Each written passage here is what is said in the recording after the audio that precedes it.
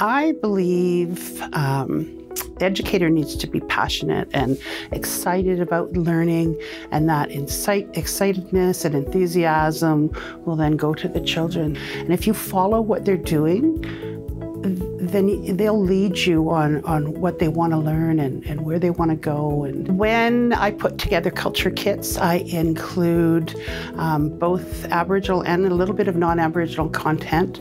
I include toys, games, puzzles, felt stories, books. Um, we also include three activities that the children can do to help enhance the teachings and the learnings within the kid. There needs to be enough for the children to do, inclusive for all children to be able to participate. Not only do you have your indoor environment for the children, outdoors is equally as important for bringing um, uh, Mother Earth teachings to the children. I think that's very important as well. We use technology in our center in a minimal way. We use uh, digital cameras for capturing moments.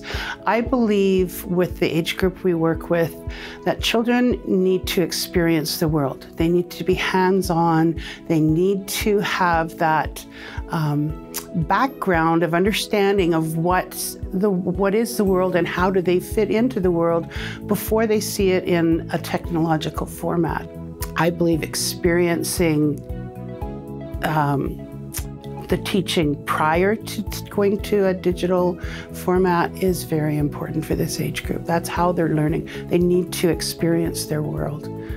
Think outside the box. I mean, that seems very cliche, but do what you're passionate about. Follow the children's lead. Be creative. Uh, and again, be a risk taker. I wanted to bring culture to other programs. So I said, okay, how can I do that? And that's how it all evolved by just coming up with an idea and saying, okay, that's what we're going to do.